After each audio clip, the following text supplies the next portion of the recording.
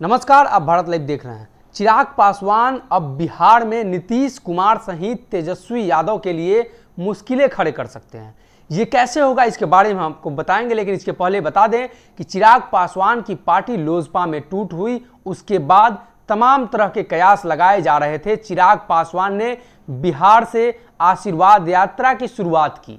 हाजीपुर, समस्तीपुर खगड़िया, बेगूसराय सहित कई अन्य जगहों पर आशीर्वाद यात्रा प्रस्तावित थी, जिसमें कई जगहों पर यह आशीर्वाद यात्रा हुई। लेकिन चिराग पासवान अचानक से दिल्ली चले जाते हैं और इसके पीछे की रणनीति अभी तक क्लियर नहीं हो पाई है। बताया जा रहा है कि चिराग पासवान की लालू प्रसाद यादव से बातचीत हुई है, श्याम रजक से मुलाकातें हुई हैं कांग्रेस के कई नेता से मुलाकातें हुई हैं। हो सकता है चिराग पासवान अब पाला बदल ले। लेकिन इन सभी खबरों के बीच चिराग पासवान, भाजपा सहित सभी पार्टियों के लिए बिहार में मुश्किल खड़े कर सकते हैं।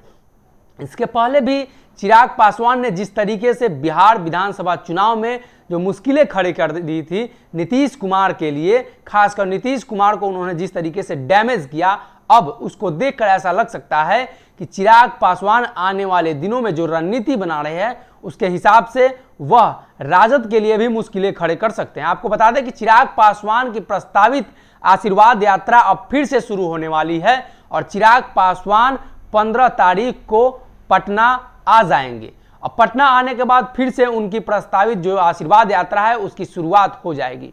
अब इसमें राजद को और नीतीश कुमार को कैसे घाटा होगा, ये हम आपको बताते हैं। क्योंकि जिस तरीके से आपने देखा कि जब जब चिराग पासवान बोलते हैं, नीतीश कुमार के खिलाफ बोलते हैं और नीतीश कुमार के ऊपर कई तरह के आरोप लगाते रहते हैं। अब इसी क्रम में जब चिराग पासवान लगातार बिहार में रहेंगे तो नीतीश कुमार की कमियों को लगातार उजागर करते रहेंगे। एक तरफ़ जहाँ नीतीश कुमार की परेशानी अपने ही पार्टी के लोगों से है, भाजपा से है राजद से है, वहीं दूसरी तरफ़ अब चिराग पासवान बताया यह जा रहा है कि लगातार बिहार में ही रहेंगे।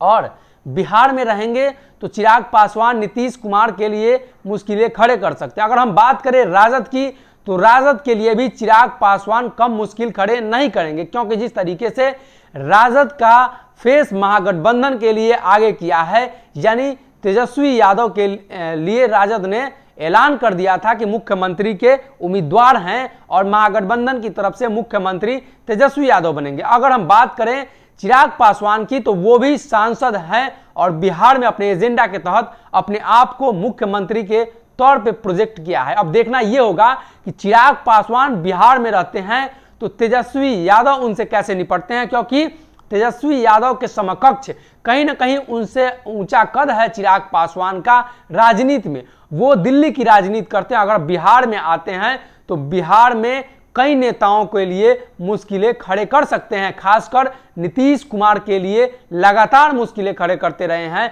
अब फिर से चिराग पासवान जब बिहार में रहेंगे तो कई अन्य समस्याएँ भी आ सकती हैं। अगर ये वीडियो पसंद आई और वह बिहार के राजनीति और बिहारियत से सरोकार रखेनी तो सब्सक्राइब बटन दबा के चैनल के सब्सक्राइब कर ली। ओजे एगो घंटी बा।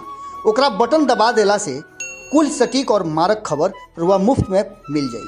अगर रुआ पत्रकारिता के हमनी के नया प्रयोग में सहयोग कर चाहतानी तो ज्वाइन बटन दबा दी। पेटीएम नंबर नोट कर ली nine three eight six eight one six seven double zero. धन्यवाद।